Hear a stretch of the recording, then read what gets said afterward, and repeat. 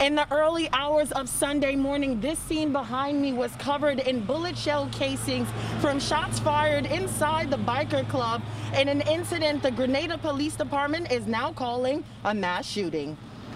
Officers with the Grenada Police Department and deputies with the Grenada County Sheriff's Department responded to multiple shots fired at the SSMC Biker Club on Highway 8 East shortly after 1:30 a.m. The victims were treated for gunshot wounds and later released with two remaining in the hospital and possibly others. No deaths have been reported.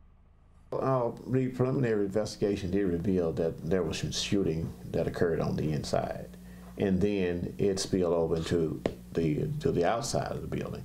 And thus far, we have determined that uh, individuals were shooting at one another. And we haven't made the determination whether some people were caught in a crossfire or intentionally shot at. According to Chief Douglas, no arrests have been made and penalties for such a crime have yet to be determined. I'm Deidre Briscoe reporting for News Nation in Grenada, Mississippi.